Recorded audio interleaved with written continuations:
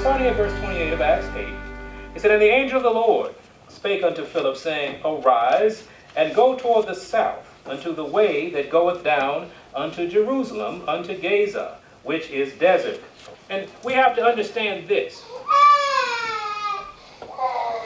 That was an instruction from God, right? First thing you do is have to listen to the instruction. Okay? Don't be too busy to hear the voice of God. Now, he told him to go somewhere. And, and verse 27, second step. And he arose and went, and behold, a man of Ethiopia, an eunuch of great authority under Candace, a queen of the Ethiopians, who had the charge of all her treasure, and had come to Jerusalem for to worship. Now, of course, Philip had never met this man, and it didn't matter because, first of all, the Holy Spirit told him to go. Second step, what did he do? He went. He went. See, that's past most of us.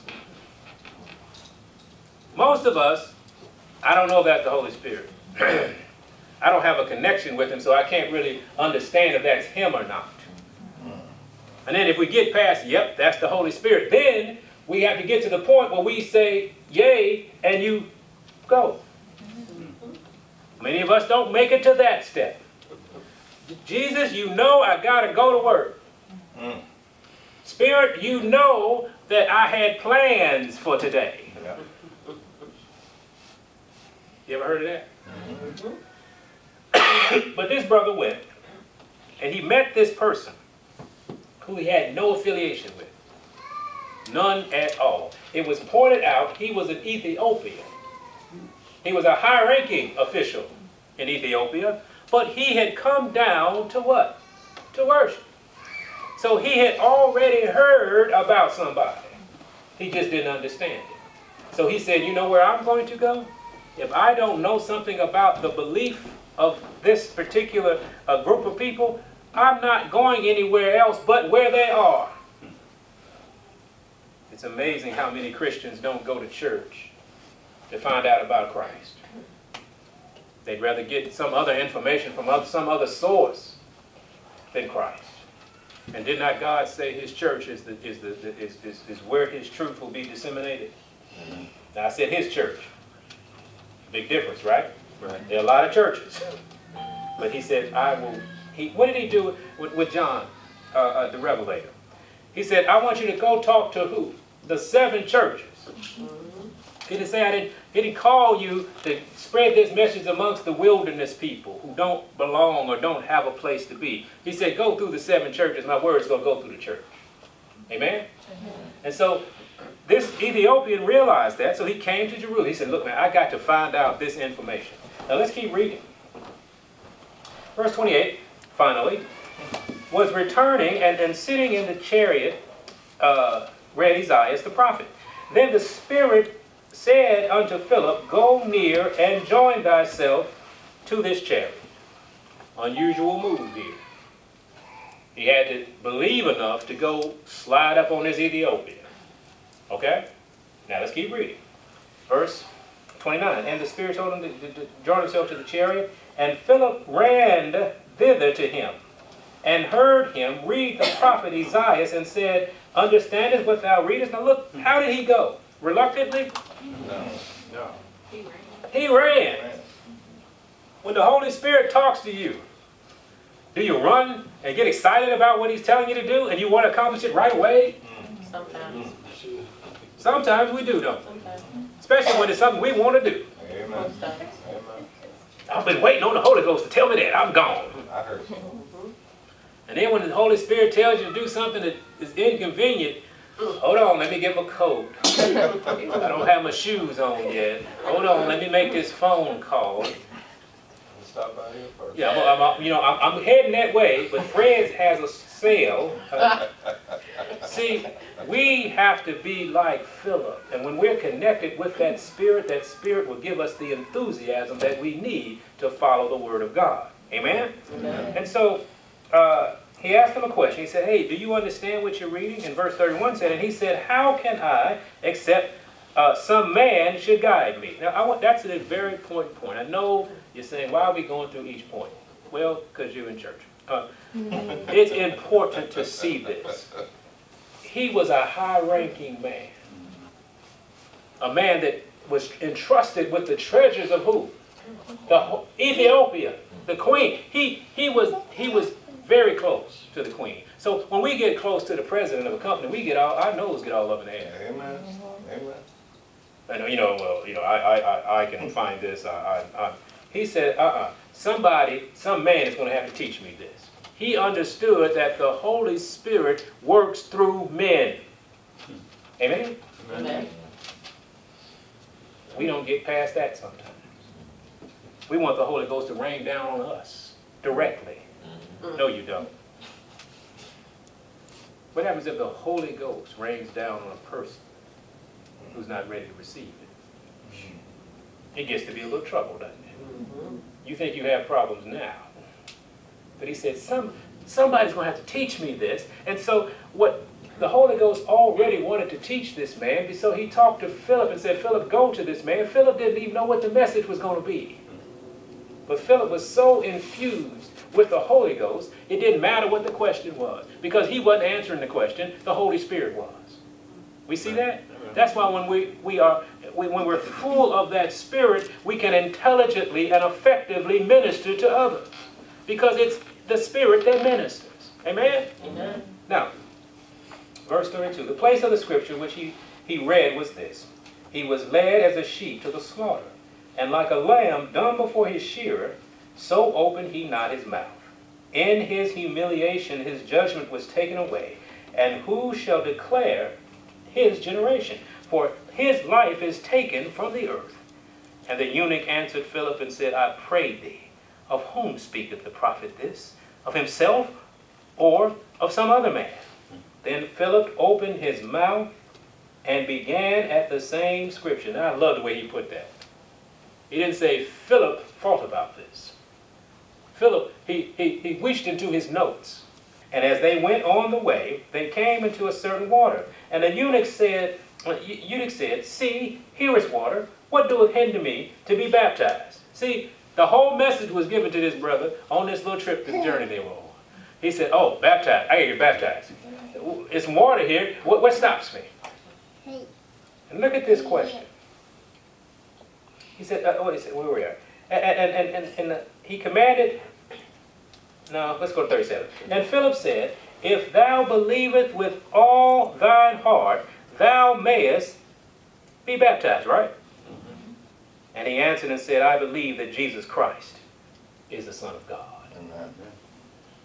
One Bible study. Mm. Boom. He'd been looking at it. Been, he, that's why he got to Jerusalem. He had been looking at this thing. He just couldn't figure it out. So he came to a place where he might find a man to teach him. And He asked him a question. Do you believe? And he commanded the chariot to stand still. And they went down both into the water, both Philip and the eunuch, and he baptized him. Isn't that a blessing? That's called effective ministering. It, it answered the question the man had and allowed him to go to the next step, right?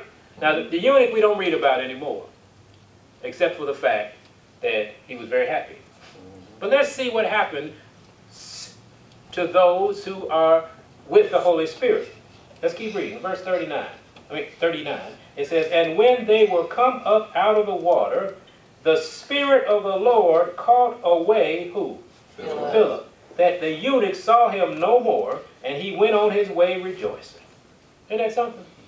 Now, that's a little supernatural. Mm-hmm. Because let's see what happened to Philip in verse 40. But Philip was found where? Yeah, somewhere else. Azotus. Mm-hmm. And passing through, he preached in all the cities till he came to Caesarea. Look about this. That's being connected. He said, Philip, go down here.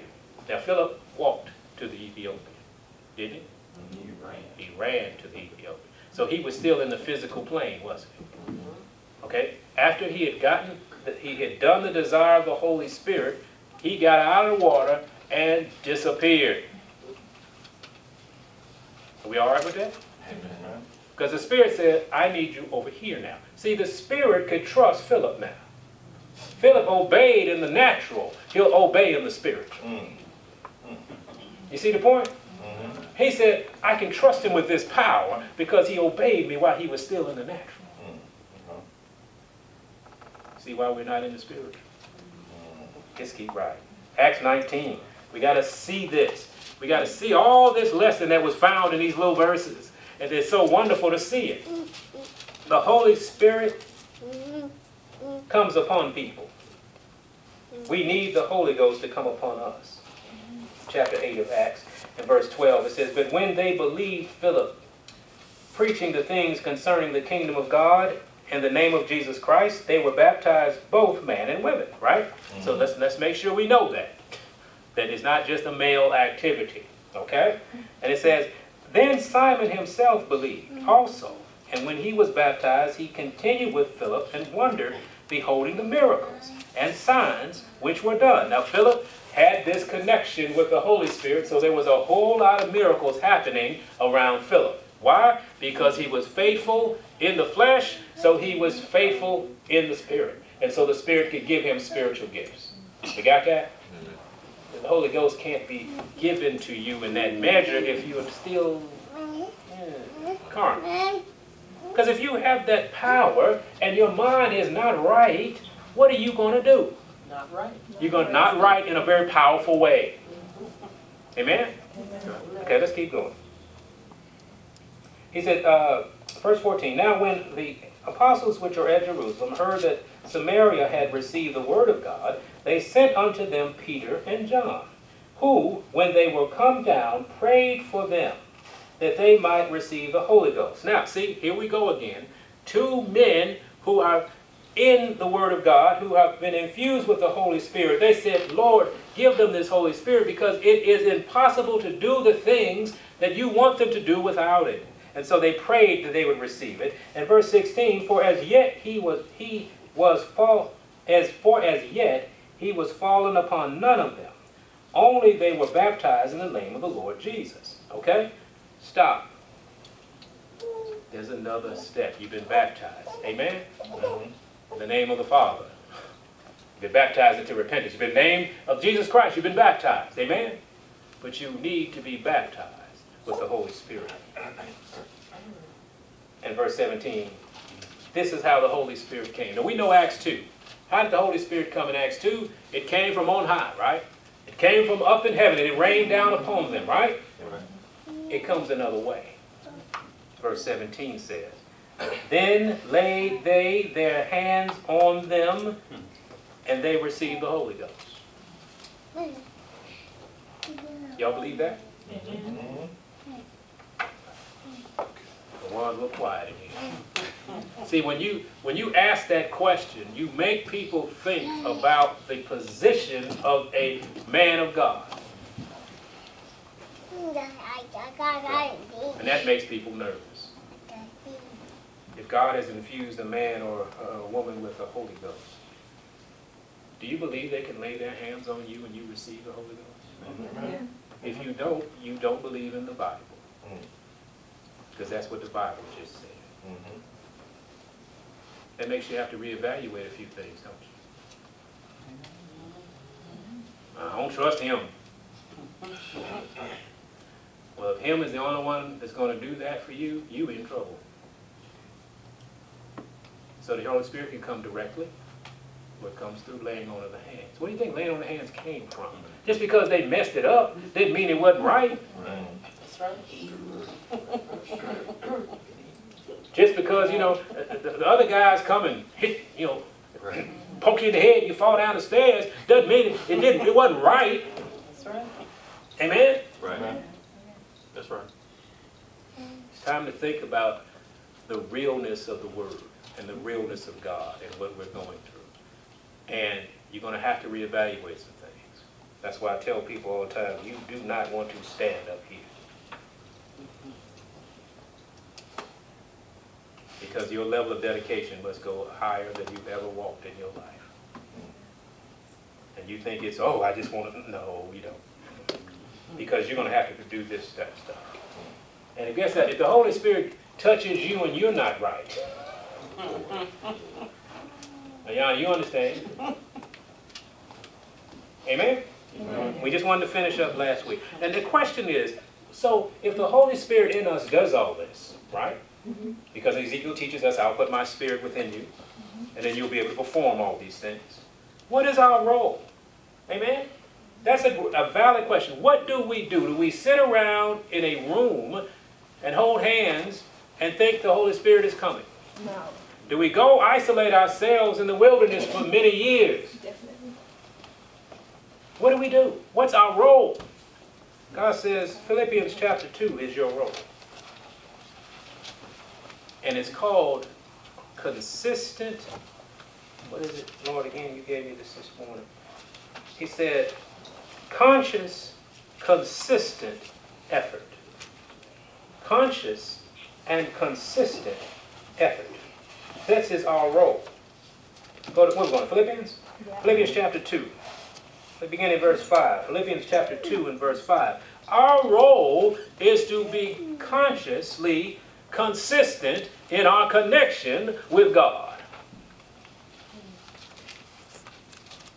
Philippians chapter 2, starting at verse 5. Be in you, Mhm. which was also in Christ Jesus. Mhm. Allow this mind. That's your role. Allow the mind of Christ. Amen? Amen. That's your role. That's my role. We can't do anything else. Allow this to occur in you.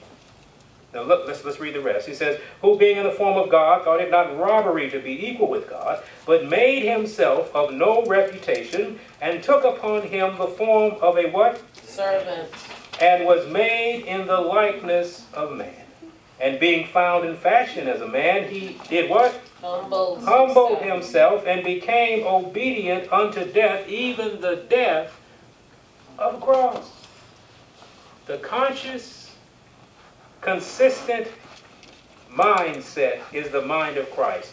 Humility, servitude is our role. Serving, submitting to the commandments of God. That's your role. He makes it happen, but you gotta let it. Amen. When we, we go through these scriptures, see, every moment your mind should be set on obedience. The mindset of submission to the authority of God is the role that you play in this salvation uh, play that we are in. Submission to Him.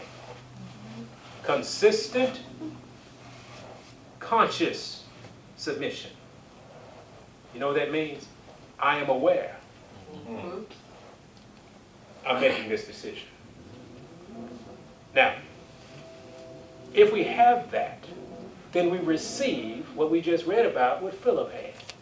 Philip always consciously, consistently submitted to the will of the Father. We see that when the Spirit told him to go, what did he do? He went, he ran. This is our role. And guess what? It's not always going to be some specific thing God tells you to do at that moment. It's not always going to be because He said, Didn't you look into my word and know what position to take on that? But if we're not in His word, what position do we know to take? See, the Holy Spirit is in charge of bringing back to our minds the things that we, He has taught us. What if it happens if you never learned anything? He keeps grabbing to an empty bag. Mm-hmm. And he keeps looking in that empty bag and he keeps trying to get something to give to you, but there's, the bag is empty, there's nothing to give to you. Your role is to stay connected consciously and consistently. Amen? Amen. Now, when you are that, when you're performing that by the will and strength of God, you won't get swayed when it doesn't look like it's working. See, if God was instantaneous always for us, then course it's easy because it requires no faith. But consciously, consistently being connected to Him causes you to have faith because God is working on something bigger than your request. He's working on something, just like he was working on Philip, he was working on the Ethiopian at the same time. How can we tell God how long something should happen? How long should it take, Lord? I'm asking for just going for here to there. He said, Man, do you know how much is involved with here and there? The But what do we do?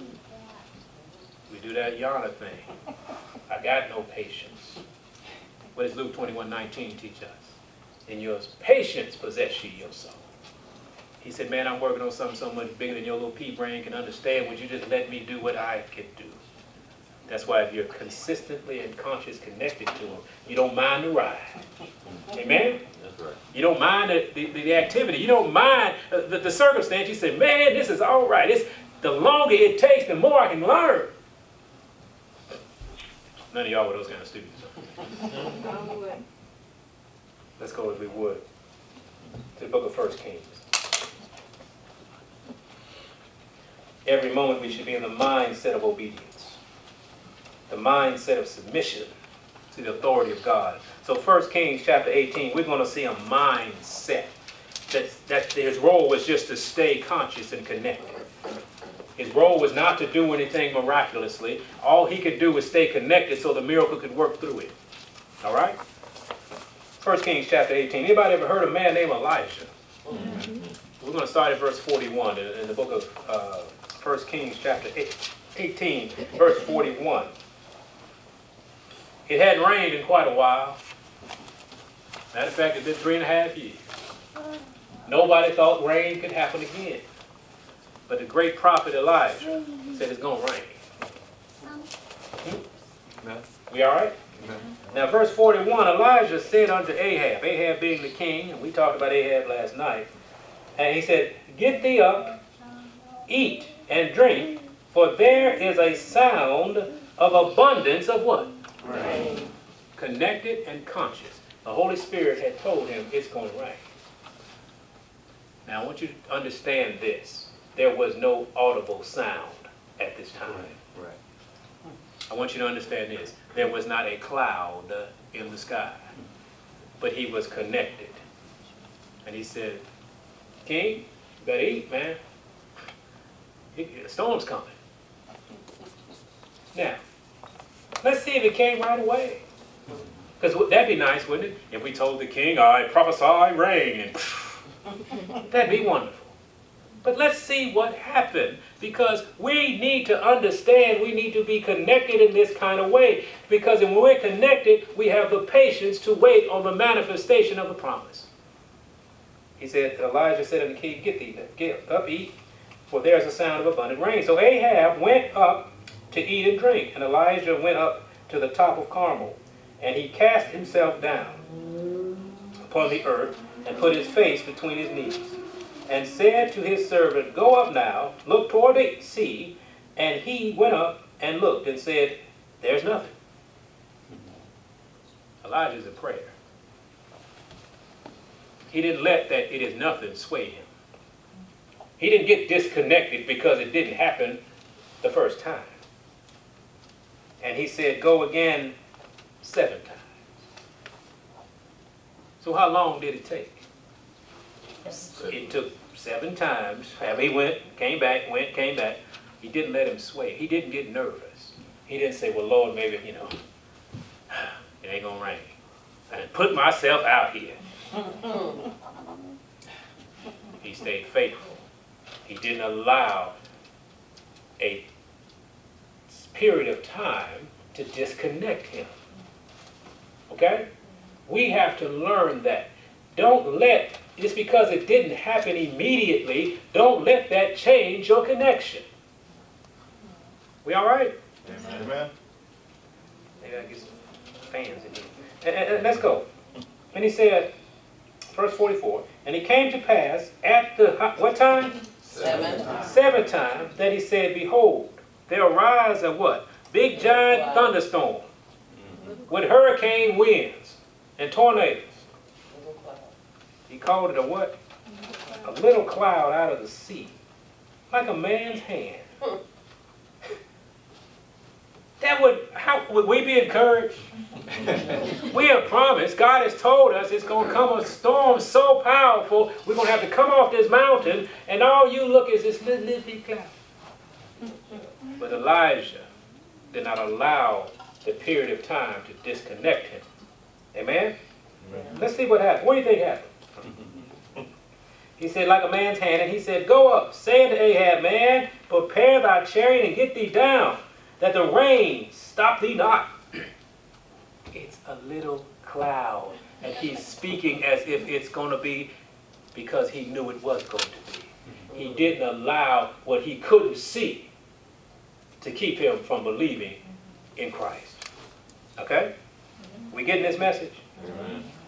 So, uh, like a man's hand, and he said, uh, and it came to pass at the seventh time, he said, Behold, there's this, this cloud, he said, Prepare the chariot. And it came to pass that uh, in the meanwhile, that the heaven was all of a sudden black with clouds and wind, and there was what?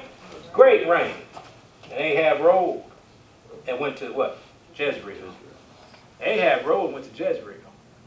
Ahab was happy that Elijah had told, gave him the heads up. Now, let me show you what the Spirit will do too. Verse 46. Mhm. And the hand of the Lord was on Elijah. And his, he girded up his loins and ran before Ahab to the entrance of Jezreel. He beat a horse. We just want to show you some snapshots about when you connected what's possible. Mm. Because he had to get down too. It was the same rain that fell on Elijah. He had to get, he said, let me go ahead and get you in front of this chariot. Anybody ever try to outrun a horse? Uh, wouldn't be a good idea. But this hand of God was on him. He said, come on, man, we got to go. Just like he did Philip. Come on, we got to go, man. We got to be down here. This is the connection that we must have. Go to Acts. See, even when it seems that holding on to what God has instructed you, when it seems like it's not working, when it seems like His Word is causing a problem, don't disconnect. Hang on. Keep praying. Keep being like Elijah. Because there will be times when the principles of God that you, the Holy Spirit tells you to apply, it seems like it's counterproductive. Keep holding on. Don't get disconnected. Acts chapter 5. I'm not going to read the whole thing. We're going to just read 26 to 29, and we go to 40 and 42. But Acts chapter 5. See, the brothers have been talking about Jesus. And they've been talking about Jesus in the church. And the church is upset. And they said, look, man, didn't we tell you be quiet? Now let's see how this happens. He said, verse 26, he said, Then went the captain with the officers and brought them without violence. For they what? They feared the people. Least they should have been stoned. See, they had been talking what the Holy Spirit had given them to say, and it started to affect the people, and the people were believing, and people were excited, but the church didn't want the people to believe in Jesus. They wanted them to believe in the church. And this seemed to be a problem. But they said, well, we can't just drag them down the street because the people believe them. And the power is with the people, especially people who have rocks in their hands. And they said, no, we, we got to be cool about this because we, you know, we don't want to excite the people and they'll stone us, okay? But these brothers were preaching filled with what? The Holy Spirit. In verse 27, and when they had brought them, they set them before the council, and the high priest asked them, saying, Did not we straightly command you that ye should not teach in his name this name? And behold, you have filled Jerusalem with your doctrine.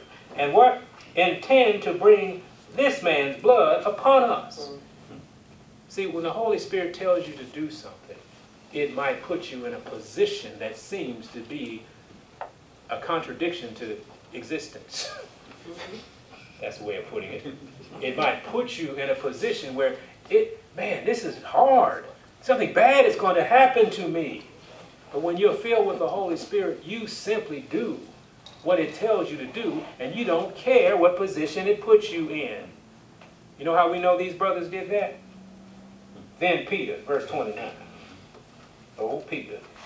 And the other apostles answered and said, We ought to obey God rather than man. Amen. Doesn't matter that the Holy Spirit told you to say this and men say don't say it. You go ahead and do it, don't you? Amen. Let's go down to 40. He said, And to him that agreed, see, they, then, then they got a wise old, old, old, old, council member. He said, Look, man, we've been through this before. See, See, we've had other people come and say, I'm the one, I'm the one. He said, look, if, but if this is of God, there's nothing you can do about it. So why don't you just hold tight? Don't try to throw these guys in prison quite yet. But verse 40 said, And to him they agreed, and when they had called the apostles, and what? Beaten them. See, they followed the command of the Holy Spirit, and you know what it got them? A beating. Yeah. People say, I don't know, this Holy Spirit thing, I don't know what it is. Sometimes it'll put you in a position to be beat. Mm-hmm. But does that mean it's not the Holy Ghost? Amen. Let's see how they responded. He said, and, and, and- they agreed, and when they had called them, called the apostles, and beaten them, they commanded they should not speak in the name of Jesus, and then they let them go. Verse 41, and they departed from the presence of the council, rejoicing, hmm. hmm. hmm. So that's rejoicing. That's what the Holy Spirit is. full of band-aids and Bengay and everything else, but they left rejoicing that they were counted worthy to suffer shame for his name. And what? And daily in the temple and in every house they ceased not to teach and preach Jesus Christ. Because they were consciously connected. They said, whatever the Holy Spirit has me to do, we'll do. See, when you got beat, Jesus didn't stop. He didn't tell them, okay, you can stop saying it now. He said, no, that's just part of this process. And they rejoiced. They said, man, he counted us worthy to suffer this for his name. So you think they were going to stop then? Uh-uh. More vehemently, they preached the word of God. Mm-hmm. So sometimes when you follow the principle, you follow the direction of God, it might seem counterproductive, but it's not. And you keep on with it. Amen? Amen. Yeah. So when the Spirit tells you, what He tells you might seem to be a little off, it might seem to be a problem. But John the Revelator had that issue. what was the thing that, the last thing Christ told the disciples? He said, Go and do what? Teach all nations. Baptize in the name of the Father, Son, and Holy Teaching them all the things that I have taught you, right? That's the last thing he said. Now, you would think you would do everything you can to make sure you can fulfill that particular uh, command, right? John did that and ended up in isolation. Now, if he was one of us, well, Lord, I, I cannot fulfill the uh, command you gave me if I, if I do it this way. So I'm just going to be quiet. And, you know, and, and secretly, John didn't do that.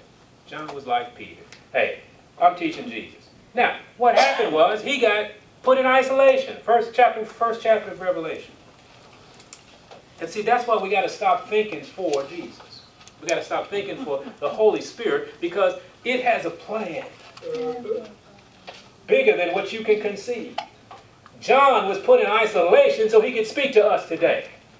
So did he fulfill the command to go out and teach all nations? 2,000 years later, John the Revelator is still teaching. But it put him in a bad position. It wasn't solitary confinement in a cell with the rest of the people. It was an island that wasn't nobody else there. Now let's go to chapter 1 of Revelation, verse 9, and see how effective the Holy Ghost is if we just obey him.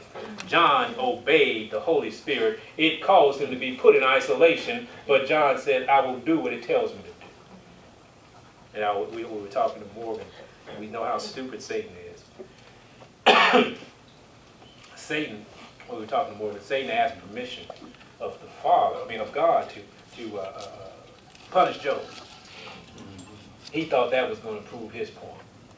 He's so stupid. God said, I'm going to use your request to prove my point. That's right. And he did. That's right. Now, John, Satan thought if I isolate John, he can't communicate with anybody. He said, all right, watch this.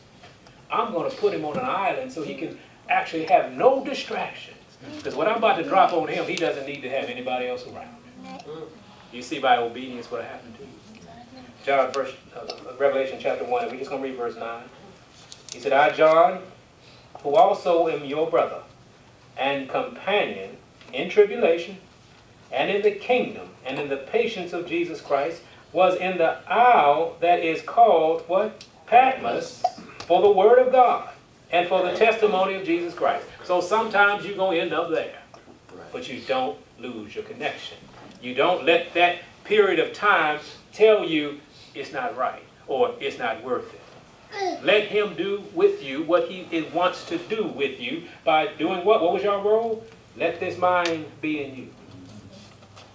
Conscious, consistent submission to the Word of God. That's your role. Amen? So when, when you, let's take it, let's make it today. Ephesians, let's go today. See, that's John the Revelator, that's Peter. God says, I have something I want you to do when you go to work in the morning. Is that close enough? If we can find in the scriptures what your connection ought to be and your reaction and your purpose and your position ought to be, is that all right with y'all? Because this is how we stay connected to the Holy Spirit and, and, and are infused with it and are used by it and is blessed by it as well. See, when, when, when your boss doesn't have a pleasant disposition, Okay. what's your position? What? Ephesians. What's your position? Because you're connected. You never not represent him. Never. It doesn't matter. You always represent him. You always are infused by him, so you're always connected. So you'll do the things that you think in your mind is impossible to do. But be willing to do it and watch what'll happen. He said, I just need a willing heart. I know you have no ability to do what I'm about to tell you to do. But if you keep your mind in a place where I can get in, I'll show you a miracle. See, the miracles, we, we miss miracles. We're thinking that the miracle is the Red Sea. That's pretty good, wasn't it? Mm-hmm. The greatest miracle is man. No, I'll make it personal. The greatest miracle I have ever witnessed is me believing in Christ. Mm-hmm. That's a miracle. Mm. I can't explain it. Mm-hmm. Amen? Where are we going? Ephesians chapter 6. When your boss is not a pleasant boss. How many, how many people had a boss that might not have been too pleasant? Did. Maybe y'all working with, a, great people. Ephesians chapter 6, we're going to read verse 5. Servants, why? Because you're always in the mold of a servant. Stop letting somebody take you away from that mold because that's a slave. Satan wants you to conceive that being a servant is a slave. When you're a servant of Christ, are you a slave? To. As we define a slave, To him. we define a slave as what? Weak. Somebody who has no choice, who lives on the, the back end and eat hot with hog maws and gravy. Slave food. Y'all call it soul food. That's slave food. And if them slaves could have got any other food, they wouldn't have eaten that. Amen? Amen. He says, Servants, be obedient to them that are your masters according to the flesh, with fear and trembling and singleness of your heart, as unto Christ.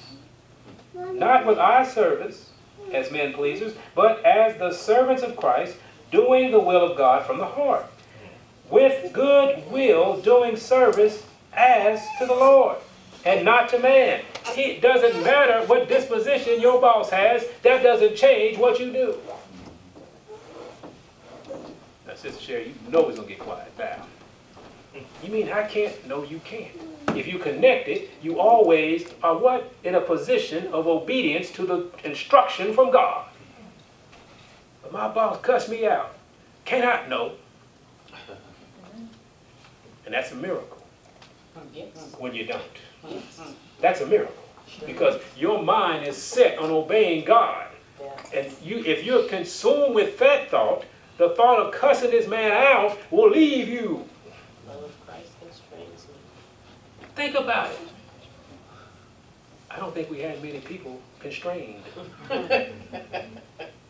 Let's keep reading. He said, You do it unto me.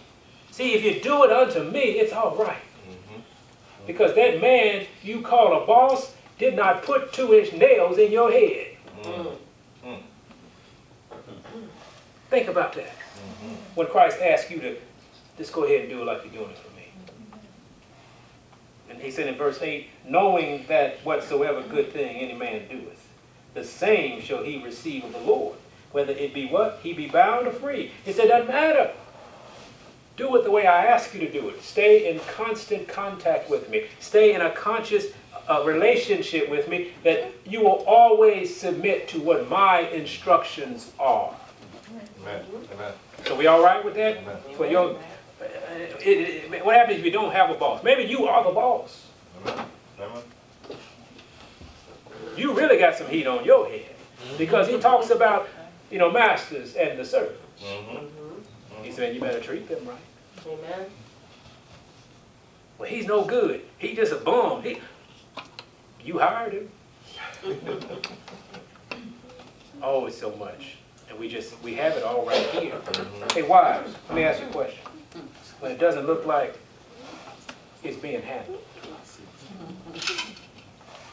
stay in constant connection and a conscious decision to be submissive and obedient to God.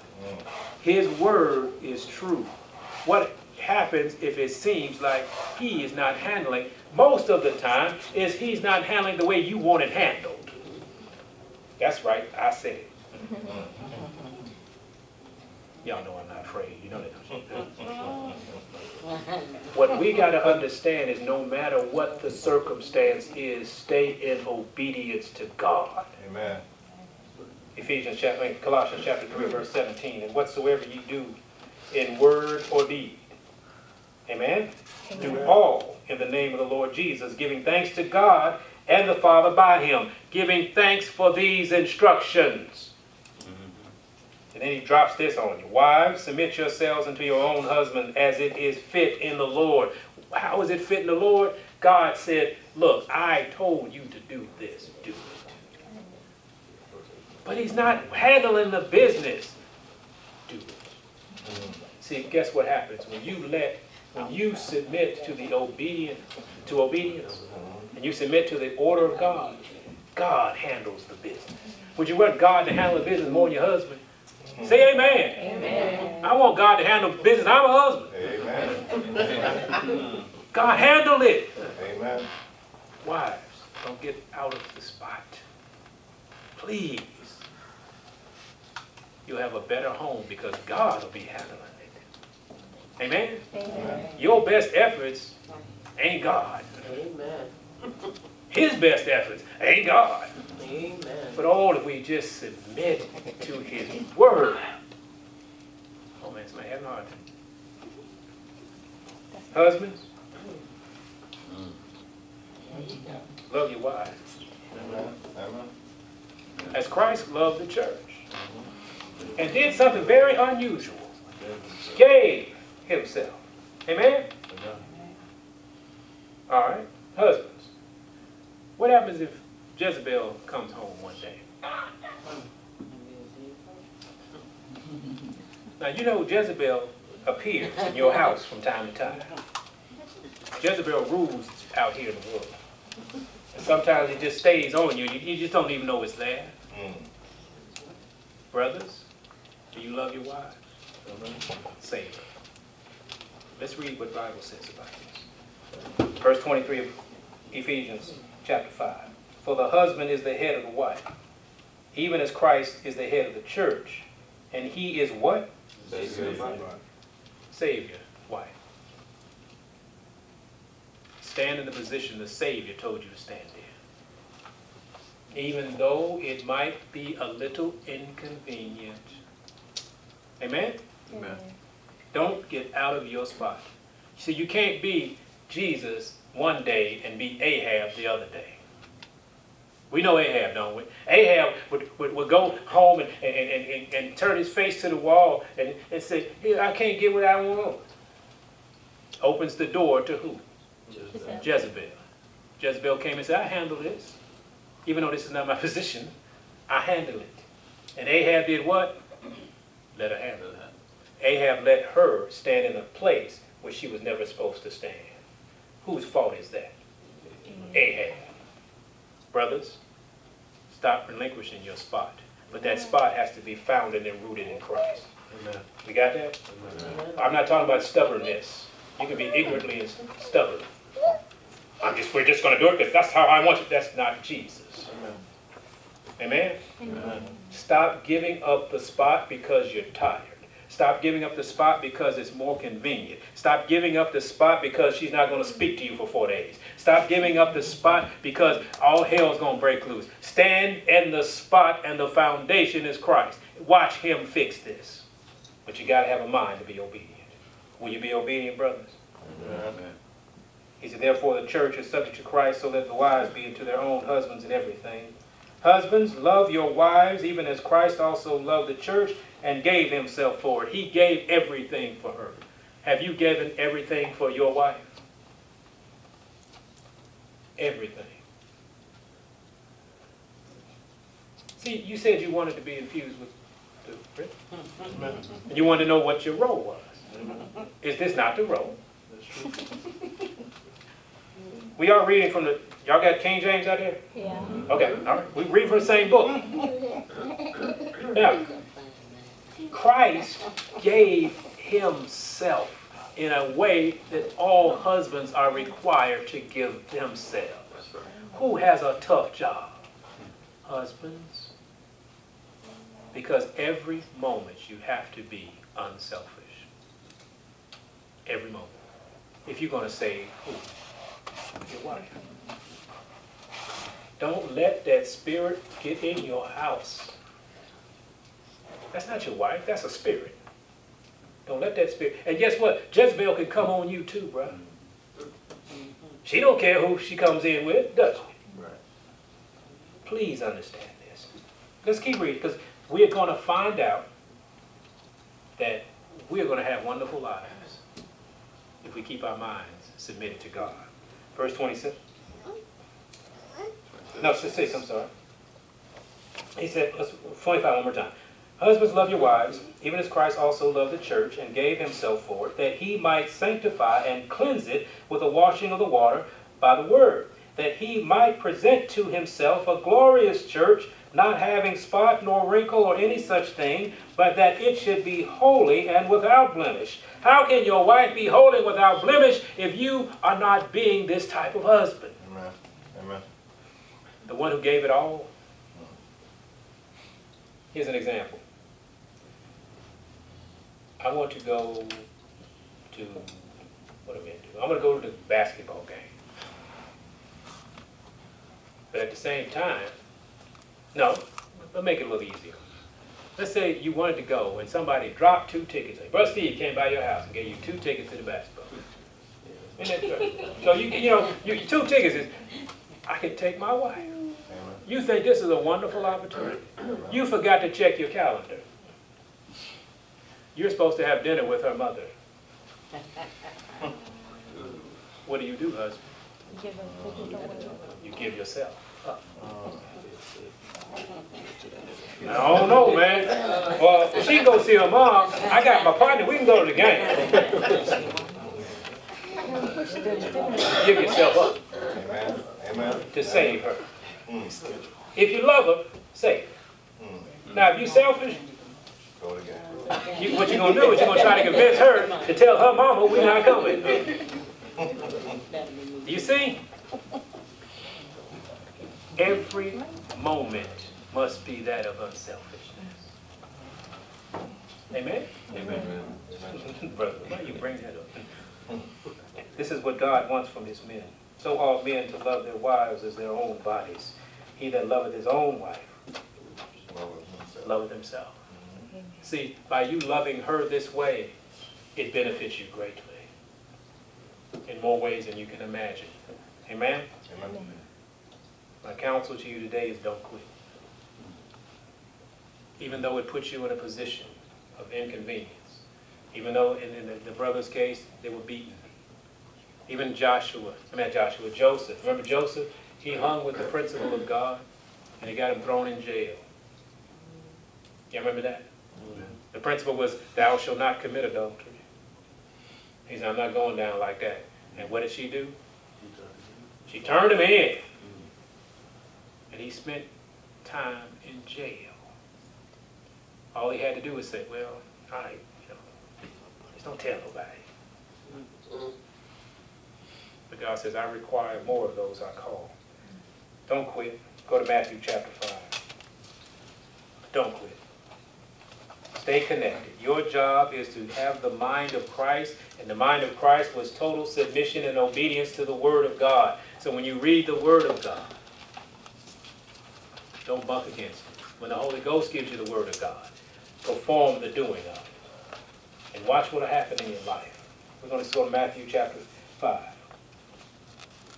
This applies to all of us, because some people in here aren't married yet. Praise the Lord. Matthew chapter 5 and verse 38 says, Ye have heard that it had been said, an eye for an eye, and a tooth for a tooth. How many of, how many of us have poked out a few eyes? Mm-hmm. Oh, you cross me, I'm gonna cross you. Now watch what the word of God says. Ready? Mm-hmm. But I say unto you, that ye resist not evil, but whoever shall smite thee on thy right cheek, turn to him the other also. You need the Holy Ghost to do that. Do that. But you gotta believe in the word of God. Amen. No one is in here can say,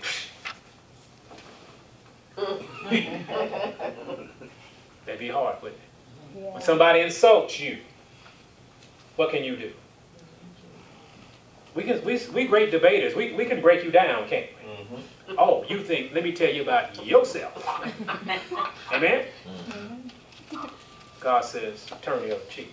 Oh, thank you, Jesus. Your mind must be in constant connection with who? The Spirit. Christ. Christ has to keep your mind, believe that it's going to work. Mm-hmm. Even though he slapped you on the other cheek too. Mm-hmm. Believe it's going to work. Amen? Verse 40. And if any man will sue thee at thy law, at the law and take away thy coat, let him have thy cloak also. Why? Because he said it and you believe it. And it's going to, in the end, it's going to be all right. Amen. Now, let's keep reading. Whosoever shall com- compel thee to go a mile, how far should you go? Two. Go with him twain. Give to him that asked thee, and from him that would borrow of thee, turn not thou away. Wow. I don't know, Lord, you know, he ain't gonna pay me, I know he ain't gonna pay me back. And if I told you to do this, what are you worried about? Amen. Amen. He said, here, give it to him. When you're connected, you hear these voices. When you're connected, you, you, you believe in these commands. And you go forward knowing it's all right. Mhm. Had a lady yesterday. Lady ran in the back of me. It's about a month ago. Month think. Ran the back of me. Got out of the car. I'm so sorry. I, I wasn't paying attention. I, I, that's okay.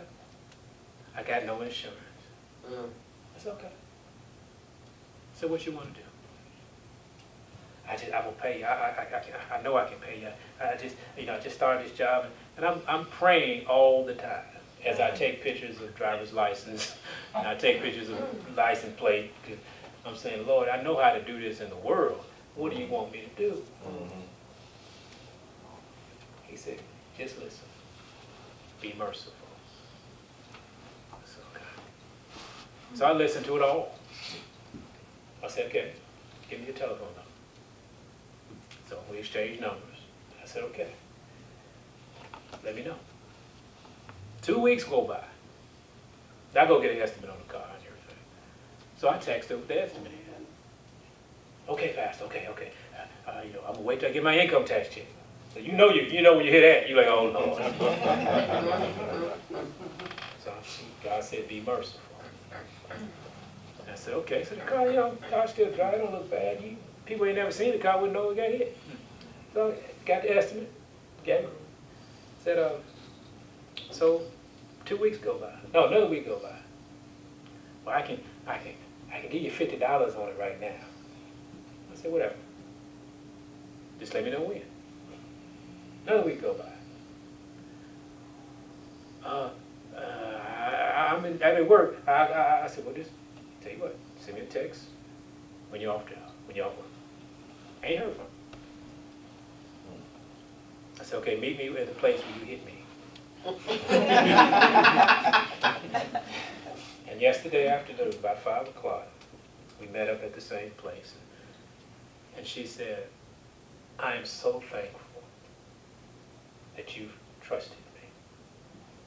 Because she had no insurance, she's about forty, she had a couple of kids, you know. I said, I trust God. And she said, I just, and I, she said, she literally said, she said, I am happy to give you. I'm not begrudging about it. I'm just so happy I can do this. You had faith in me. I said, God, just pray and we'll ask God to bless you. And that was the it. Why? Because he said to do that. Mm. Now, when- I'm going to tell you this. I'll be honest. When we first started down that path, I said, well, Lord, I'm going to learn how to fix the car. I was all right. I was all right. In my mind, I came home and talked to my wife. And, oh, well, she's okay. I just knew that was not going to happen. But it, it didn't matter because he told me to be merciful. So whatever happened was going to be all right. Amen. That's right. Amen. So that's what we're saying. Don't quit. Keep listening. Keep obeying. And guess what? She gave me the whole amount. Mm-hmm. She ran over there. She said, I ain't even been to the bank. I ain't got no change. so I had to give her some change. But she had it. Ain't that wonderful? Amen. Only when you listen, it will be all right. Amen. What happens if I never heard that woman again? It would have been all It'd been all right. Why? Because he said, be merciful. Do I need mercy? Yes. So he said, be merciful. Amen. Amen? Let's close it up, because I know you got to go. Ye have heard that it has been said, Thou shalt love thy neighbor and hate thine enemy. But I say unto you, love your enemies. Bless them that curse you. Do good to them that hate you. And pray for them which despitefully use you and persecute you. Do you see the obedience here? Do we submit to that? Are we praying for our enemies? Those that, to- what do you call it?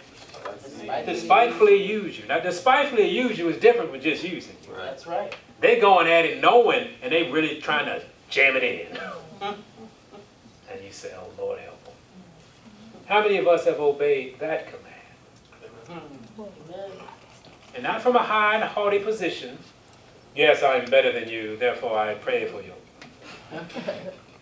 from a position of, I feel sorry for you. Lord, what can, please don't let that person go to the pit. Because they're doing some pitful things. Lord, help me to stand for you so they might see mercy in me and they might, their hearts might change toward you. See, that's praying for somebody.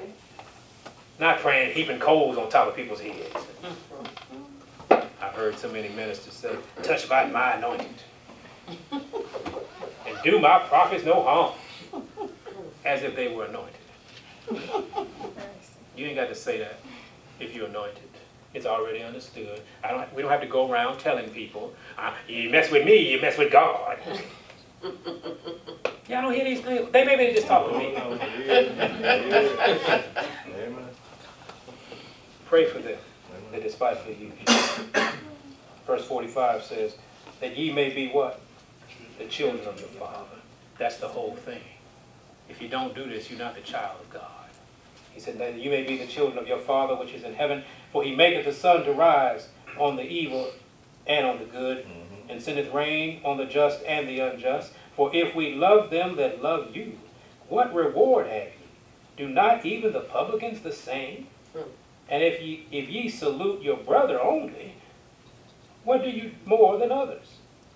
See, he's saying there is no separation between you and the world. Between you call yourself a child of the Father, but you're not. You're just like the world. Unless you do these things I'm asking you to do. Do not even the, uh, he said, be ye therefore perfect, even as your Father which is in heaven is perfect. Hmm. So don't quit. Conscious, consistent connection. Conscious, consistent obedience and submission to the Word of God and to the voice of God and to the Spirit of God. That's when you become a child of God. There is no other way. When you read it, open your mind and say, Father, yes, and watch happens. The Holy Spirit comes in. Philip did it. Father, yes, and he went. Father, yes, and he was taken away. These are the signs of a committed Christian who say, yes, Father, don't know how. The brothers got beat, and they said, yes, Father. Don't you know when you go up in a church council meeting talking about anti-church things, what's going to, Stephen did it. Mm. What happened to Stephen? He got stoned to death.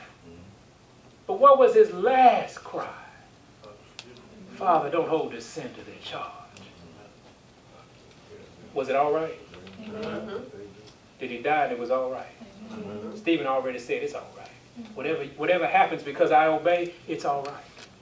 So in your home, is it all right? Wives, will it be all right?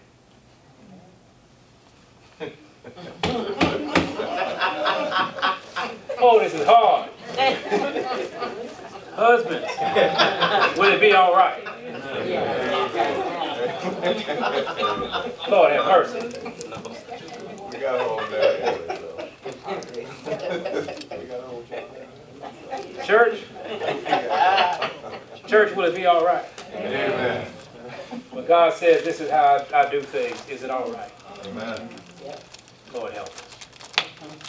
Did we get exposed this morning? We got some, we got some, we got some obedience to, to, to put into action, don't we? Come back and say, yes, I see what the Lord is talking about. He did it. The Lord did it. Yes. And Some of us will come back, he ain't done nothing yet, but I'm gonna sit here and do this. Don't quit. Wait to the end. As the book teaches us, wait to the end of God. Job waited to the end of God. God has something for each and every one of us. Please remember that. Yes. And you only get it because you say, yes, Lord. Yes, Lord. Just say whatever it is, yes, Lord. Yes. You remember Dr. Watts? I know Marie, you probably about Dr. Watts. I know my wife, I know you know all about Dr. Watts. Anybody grew up in the church knows Dr. Watts. And one of the, one of the hope, one, because his stanzas only had two words. One of them was yes, Lord. We sing yes, Lord. Yes, Lord. Yes, Lord. Y'all remember that? Mm-hmm. That was it. And you sung that, then you said, then you- somebody come up with two more words. I don't know why they call it Dr. Watts, I have no idea. But we just need to start saying, yes, Lord. Yes, Lord. Every time a situation comes up that you don't want to do, just say, yes, Yes, Lord. Lord. When they come and curse you out, just say, yes, Lord. Mm-hmm. And then when they come and, and they want to treat you bad, what do you do? Yes, Yes, Lord. Lord. When your husband comes in home and he's not handling no business, what do you say? Yes, Lord. When your wife comes home and she got, she, she, she ain't, she, all she wants to do is, is, is fuss and fight, what do you say? Yes, Lord. Yes, Lord. Okay, we're going, okay, we're going back to marriage retreat. Since y'all, we need to put that on the calendar, we're gonna have a three-day, a three-week, I mean, a three-day marriage retreat. Yes, We're gonna walk through all these yes, Lord. But let me tell you, it works. God's word is real. If we believe and obedient, he'll work miracles on us, to us, and with us. Amen? Amen. Let's have word for it.